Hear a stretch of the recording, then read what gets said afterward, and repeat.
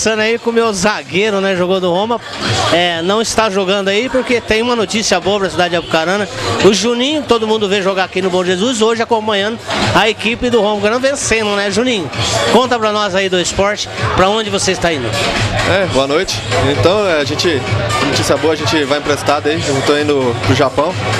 E provavelmente de sexta ou sábado a gente está embarcando aí. Ô Juninho, esse contrato aí, você sabe qual clube que você está indo, mais ou menos? A diretoria do Roma não informou ainda? Não, sim, a gente já está sabendo, está tudo conversado. E eu estou indo pro Sapporo.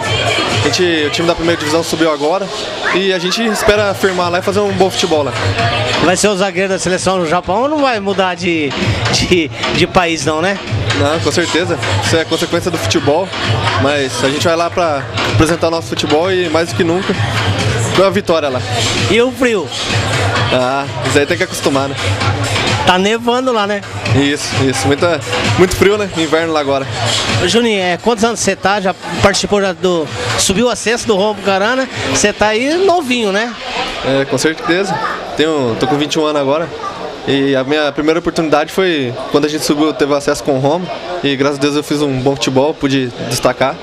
E agora a gente, mais uma nova etapa na nossa vida, que vai influenciar muito e isso é uma experiência muito boa pra gente. Você, quanto é o prazo lá? Quanto tempo você vai ficar lá, Juninho?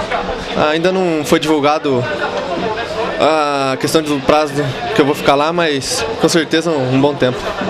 Boa sorte pra você. E quer dizer, sempre a gente vê, né? Você dá um endereço pra nós lá da internet, a gente vai estar se comunicando, né? Se você fizer algum gol, você vai, eu fiz um gol lá, Demir.